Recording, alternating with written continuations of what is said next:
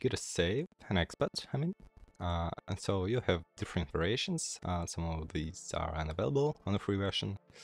Uh, so the one we need is is a step file.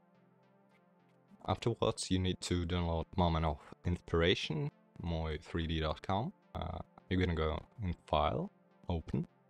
I choose each part individually. Um, press, then I press Export. FBX. The more polygons, the, well, the smoother the model. I usually use angle 1. I usually press input and input my model. You need to download uh, the Decimation Master plugin, which was previously built in. Uh, it's free, you can find it online.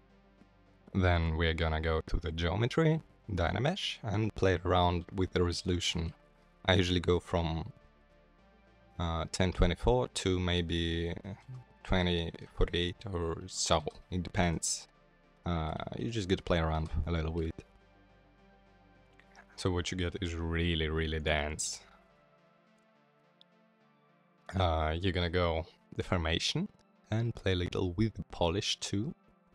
Uh, again, I usually choose between 12 and 24 uh, so I guess 12 for these would be nice.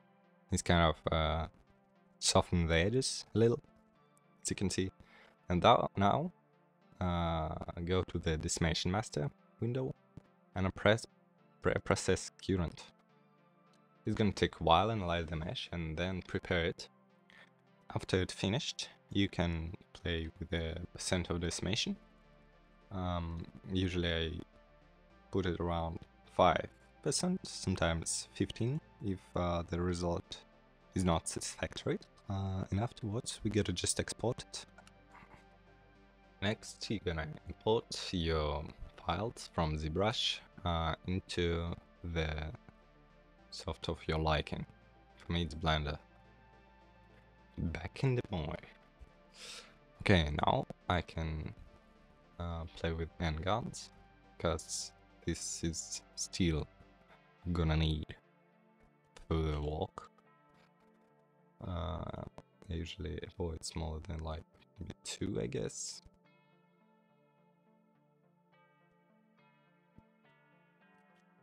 That's totally gonna get changed a little.